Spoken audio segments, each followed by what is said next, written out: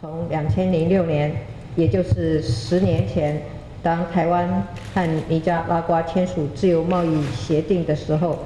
我们台湾跟尼加拉瓜双边贸易额大约是四千七百万美元。那么其中尼加拉瓜出口到台湾的金额大约只有八百六十万美元。在这十年之间，双方的贸易的成长的速度非常的快。那么举例而言，这个尼加拉瓜对台湾出口的金额更是达到将近九千万美元，大幅成长了大概十倍。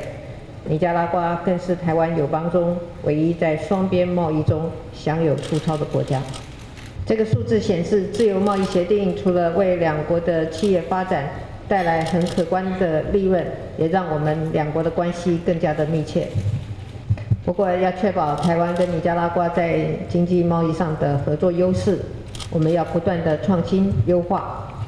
比如，在生产方面，作业流程可以更精进；市场方面，也可以互为基地，来合作拓销亚太及中美洲的市场。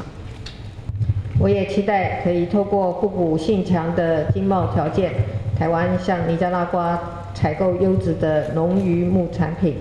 尼加拉瓜引进台湾经营管理技术以及加工机器设备，两国相互支援，达到协助尼加拉瓜产业升级的目的。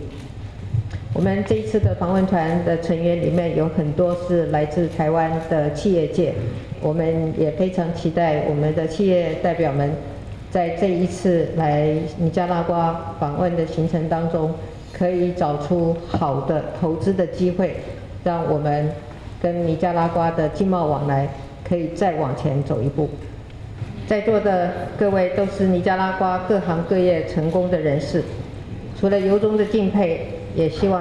s t a n e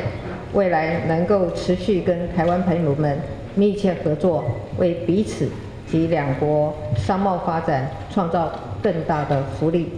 谢谢大家。